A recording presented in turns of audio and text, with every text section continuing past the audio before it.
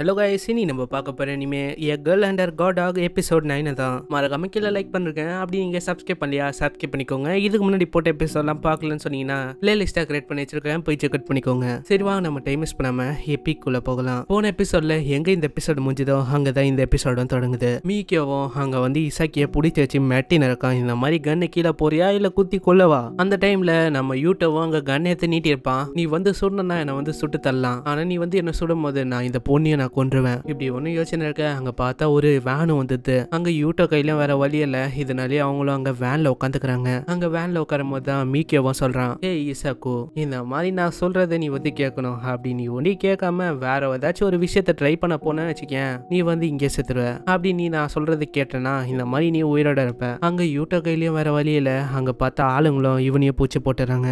இதனால யூட்டோட நிலைமையும் அங்கே வந்து அவங்க சொல்கிறத கேட்குற மாதிரி ஆயிடுது. இதுக்கப்புறம் இவங்களும் அந்த வேன் எடுத்துட்டு வேற ஒரு ஏரியாவுக்கு வராங்க. அங்க வந்ததுக்கப்புறம் இவங்களும் வெளில இறங்க அப்பதான் யூட்டவை கேட்குறான் நீ வந்து எதுக்கு இங்க எடுத்துன்னு வந்திருக்க? உன்னோட வாயை திறப்பியா இல்ல திறக்க மாட்டியா? நம்ம வந்து இங்க என்ன பண்ண போறோம்? ஏய் யூட்டோ இனி வந்து எதுக்கு எவ்வளவு அவசரப்படுற? கொஞ்சம் பொறுமையா இருப்பா. இதுக்கப்புறம் அவங்களும் அந்த மேன்ஷனுக்குள்ளேயும் போக ஆரம்பிக்கிறாங்க. மேன்ஷனுக்குள்ள போகும்போது தான் அவனே சொல்ல ஆரம்பிக்கிறான். இந்த மாதிரி எனக்கும் வேற வழியே தெரியல. ஏன்னா நான் வந்து ரொம்பவும் போர் ஆயிட்டேன். ஏன்னா எனக்கு பண்றதுக்கும் வேற எதுவுமே இல்லை. ஏன்னா என்னோட தாத்தா வந்து எப்பயுமே என் மேல ஒரு கண்ணை வச்சிருப்பாரு. ஆனா ஒரே ஒரு நாள் இந்த மாதிரி நான் உன்னை பார்த்தேன். அன்னைக்கு நீ கூட என் மேலே ஒரு கையை வச்சிருப்பல அப்போதான் எனக்கு இன்ட்ரெஸ்ட் வந்து வந்தது. சரி அவனை வந்து கட்டி போடுங்க. இப்படின்னு அந்த கம்பத்துலேயும் அவனை கட்டி போட வச்சிடறாங்க. இப்போ சீன பாஸ்ட்டுக்கு போது அங்கே நந்த விஷயத்தையும் காட்டுறாங்க. அங்கே மியூக்கியோ வந்து இசாக்கோ கூட ஒன்னா சுத்துவான்ல. அதை பார்த்து இவன் ரொம்ப வெறுப்பாக இருப்பான். இதனால அவன் வாயை பூச்சி அங்கே நசுகினே சொல்லிருப்பான். ஏ பூச்சி இந்த மாதிரி உனக்கு எவ்வளோ தைரியம் தான் நீ வந்து இசாக்கோ கூட சுத்துவ. நீ வந்து எப்பயுமே உன்னோட லிமிட்ல தான் இருக்கணும். உன்ன மாதிரி பூச்செல்லாம் நான் வந்து காலாலேயே நசுக்கிடுவேன். அந்த விஷயம் அந்த விஷயம் தான் என்னை தூண்டி எழுப்பி ஆயிடுச்சு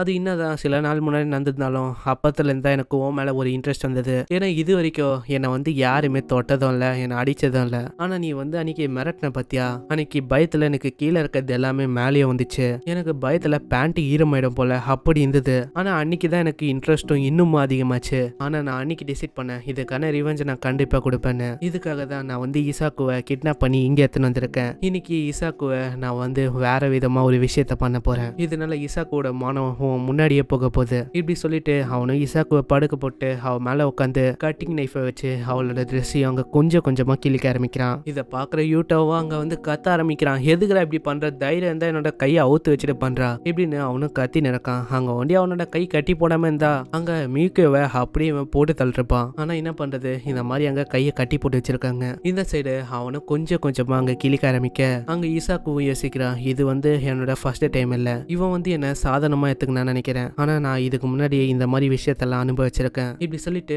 அவளும் ஒரு பயங்கரமான கேட்க அவனோட முட்டையிலே அடிக்கிறா. இதனால அவனோட முட்டையும் அப்படியே கலங்கி போயிடுது. அவனுக்கு எவ்வளவு வலிக்குதுன்னா அவன் ஒரு ரெண்டு மூணு செகண்டுக்கு அப்படியே மயங்கின மாதிரி நிலைமையில கிடக்குறான். அந்த அளவுக்கு அவனுக்கு வந்து வலிக்குது. இதுதான் சான்ஸ் நம்ம யூடியூப் அவனோட கையை டிஸ்லோகேட் பண்ணி அவனோட கையையும் அந்த ஹேண்ட் கஃப்ல இருந்து எடுத்துறான் இதை பாக்குற மத்தவங்களும் அங்கே அடிக்கலன்னுறாங்க. இருந்தாலும் நம்ம யூட்டை வந்து அவங்களுக்கு முன்னாடி இவங்கள அடிச்சு அங்க வந்து எல்லாரையுமே போட்டு தள்ளிடுறான். இந்த சைடு ஒன்னொத்தனும் அங்க வந்து ஈசாக்கிய போட்டு தள்ளன்னு வர அதுக்குள்ள நம்மளே அங்கே அங்க கண்ணை வச்சு போட்டு தள்ளிடுறான். இவன் போட்டு தள்ள அடுத்த செகண்டே அங்க வந்து ஈசாக்கும் அங்க கட்டி பிடிக்கிறான். இவங்களும் அங்க சந்தோஷமா இருக்கும்போது அங்க மீக்கியவும் கை தட்டுறான். பாருப்பா இந்த மாதிரி இப்பதான் எனக்கு புரியுது. உனக்கு எதுக்கு யாக்குசா ஃபேமிலியில செகண்ட் பொசிஷனை கொடுத்தாங்கன்னு? ஏன்னா கையை அவுத்த அடுத்த செகண்டே நீ வந்து எல்லாரையுமே அங்க போட்டு தள்ளிட்ட. எனக்கு இதுல இருந்தே தெரியுது. இதெல்லாம் பாக்குற யூட்டோக்கும் அங்க வெறுப்பாவதா இதனாலே அவனும் சொல்றான். ஏய் இசாக்கு நான் நினைக்கிறேன் இன்னமும் ஒரு பூச்சி இருக்குன்னு நினைக்கிறேன். இது நான் போட்டு தள்ளிடுறேன். இப்படி அவனும் அங்க கொல்லலான்னு போவ. ஆனா அவ தடுத்துறா இந்த மாதிரி நீ கொல்லக்கூடாது. நான் தான் சொல்கிறேன்ல நீ கொல்லக்கூடாது. எதுக்கு? அதான் ஆல்ரெடி உனக்கு தெரியும்ல இந்த மாதிரி நம்மளுக்கு கல்ச்சரல்ஸ் ப்ரோக்ராம் நடக்க போகுது. ஸோ அவன் தான் அதில் மெயின் கேரக்டர் இப்போ நீ வந்து போட்டு தள்ளிட்டா எல்லாரோட உழைப்பு அங்கே வேஸ்ட்டாக போயிடும். அதனால அவனை போட்டு தள்ளாத. நீ வந்து என்ன சொல்கிற அவன் வந்து உனக்கு என்ன பண்ண போனான்னு உனக்கும் தெரியும் எனக்கும் தெரியும்ல.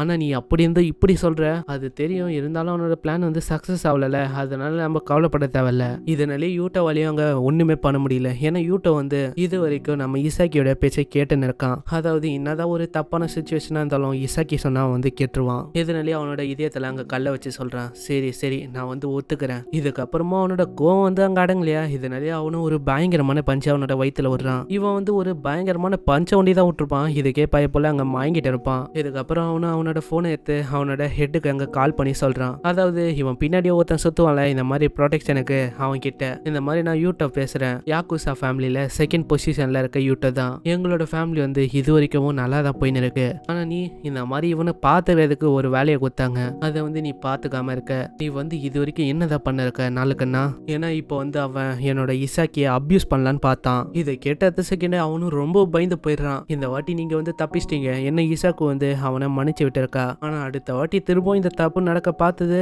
உங்க ஃபேமிலியில இருக்க ஒவ்வொருத்தனையும் நான் வந்து விட்டு வைக்க மாட்டேன். எல்லாரையுமே நான் போட்டு தள்ளுவேன். இருக்கிற அடையாளமே தெரியாம ஆயிடுவீங்க. இதெல்லாம் கேட்ட அடுத்த செகண்டே அவன் இன்னமும் பயந்து போயிடுறான். இதுக்கப்புறம் இவங்களும் அந்த வேன் எடுத்துட்டு அங்கேருந்து போக ஆரம்பிக்கிறாங்க. போகும்போதே அவ்வளோ சொல்கிறா நல்ல வேலை. சில பல செல்ஃப் டிஃபென்ஸுக்கான ட்ரைனிங்கை நான் எடுத்தேன். அதனால தான் இப்போ அது யூஸ் ஆயிருக்கு. எனக்கு வந்து அப்பயே தெரியும். இந்த மாதிரி உன் கூட இருந்தால் ஏதாச்சும் பிரச்சனை வரும். அதனால தான் நான் இதெல்லாம் கற்று வச்சிருக்கேன். ஆனால் நீ பக்கத்தில் இருக்கும்போது நான் பயப்பட தேவையில்ல நீ எனக்கு நல்லாவே தெரியும். அதே மாதிரி நீ இப்போ பண்ணிட்ட. நெக்ஸ்ட் சீனில் அங்கே ஃபெஸ்டிவலுக்கான அந்த நாளும் தொடங்குது. அங்கே பார்த்தா எல்லாருமே அந்த ட்ராமாக்காக அங்கே வெயிட் பண்ணிருக்காங்க.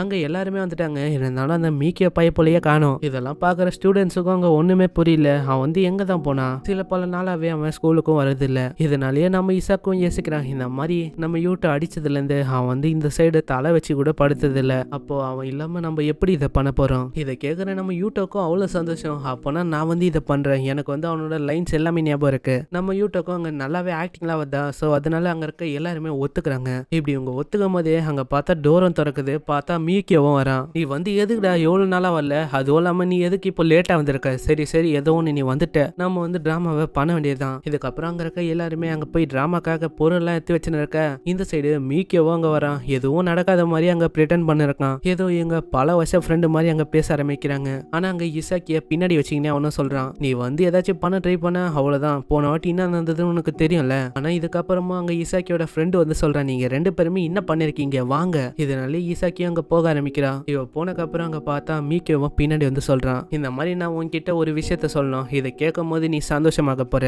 நெக்ஸ்ட் சீனில் அவங்களும் அங்கே ஸ்டேஜில் எல்லாருக்காகவும் அங்கே வெயிட் பண்ண இருக்காங்க அங்கே ரோமியோவும் வருவான்னு வெயிட் பண்ண இருக்கும்போது பார்த்தா அங்கே யூட்டோ வந்து அந்த காஸ்டியூம்ல நின்று இருக்கான். இதை பார்க்குற அவங்களுக்கும் ஒன்றும் புரியல. இந்த மாதிரி எதுக்கு யூட்டோ இந்த காஸ்டியூமை போட்டுன்னு இருக்கான்? அப்புறம் தான் நம்மளுக்கே புரியுது. எல்லாமே நம்ம மீக்கேயோட வேலை தான். அவன் வந்து அந்த ரோல அங்கே வந்து குத்துட்டு இருக்கான். ஏன்னா நம்ம மீக்கே வந்து பிளான் போட்டிருக்கான் பைப்பில் ஏன்னா இதே ஒரு சாக்கா வச்சு நம்ம இசாக்கி அவன் லவ் பண்ண வச்சிடலாம் அப்படின்னு பார்த்துன்னு இருக்கான். ஆனால் இது கேட்குற அவங்களோட ஃப்ரெண்ட்ஸும் யோசிக்கிறாங்க. இந்த மாதிரி சொல்ல போனால் இந்த ட்ராமாவே யூட்டோக்கும் இசாக்கிக்கும் தானே. அப்போ இதில் வந்து எந்த விதமான பிரச்சனையும் இல்லை. ஏன்னா அவங்க ரெண்டு பேருமே தானே அங்கே ஹீரோ ஹீரோயின் இதனால இந்த ஷோ நடக்கட்டும் அப்படின்னு அவங்கள விட்டுறாங்க. இதுக்கப்புறம் அந்த ஷோவும் நடக்க ஆரம்பிக்குது. இவங்களோட ப்ரோக்ராமும் அங்கே நல்லாவே போகுது. ஆனால் அங்கே இசாக்கிக்கு தான் அங்கே நடிக்கவே வரல. இருந்தாலும் நம்ம யூட்டோ வந்து அங்கே நல்லாவே நடிக்கிறான். என்னதான் நம்ம இசாக்கிக்கு அங்கே நடிக்க வரலனாலும் அவங்க வந்து உண்மையாக லவ் பண்ணுறாங்களே இதனால அவங்களோட லவ் வச்சு அங்கே வந்து அந்த கான்செப்டையும் நடத்த ஆரம்பிக்கிறாங்க. கடைசியில் ஒரு கிஸ்ஸிங் சீனாக வந்து நம்ம யூட்டோவும் அங்கே கிஸ் பண்ணலான்னு போயிருப்பான். இருந்தாலும் அவன் நடுவில் நிறுத்திடுறான். ஆனால் இதை பார்க்குற இசாக்கி வந்து விடல. அவ வந்து அங்கே கிஸ் பண்ணிடுறா. இதுதான் அவங்களோட ஃபர்ஸ்ட் கிஸ்ஸும் இப்படியே இந்த ட்ராமாவும் முடியுது. இதுக்கப்புறம் அவங்களோட ஃப்ரெண்ட்ஸும் சொல்கிறாங்க